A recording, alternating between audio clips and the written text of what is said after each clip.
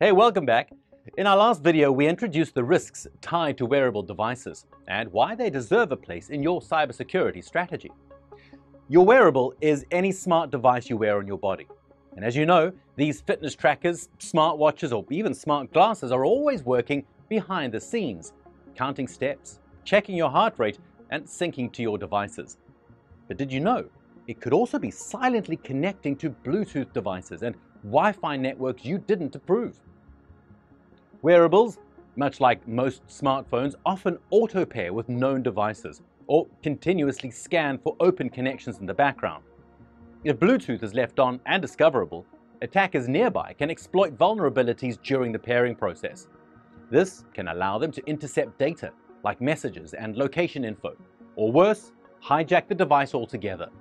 Once hijacked, an attacker could potentially access other connected devices, impersonate your identity, or inject malware.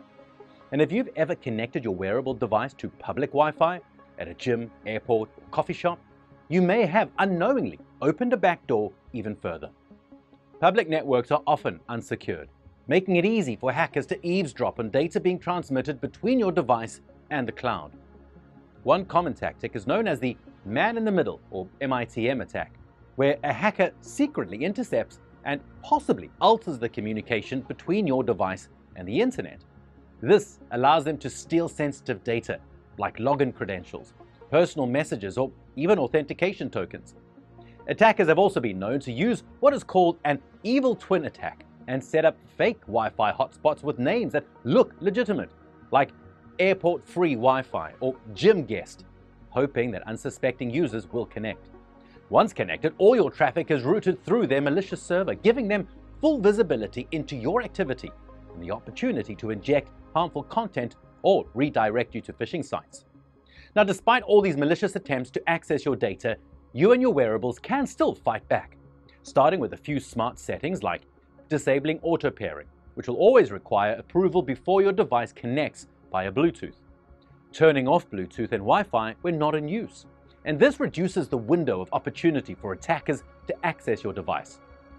Avoiding public Wi-Fi. If you must use it, be sure to connect through a confirmed Wi-Fi network provided by an establishment or use your phone's personal hotspot. And keeping your firmware updated, as updates patch security holes that attackers rely on.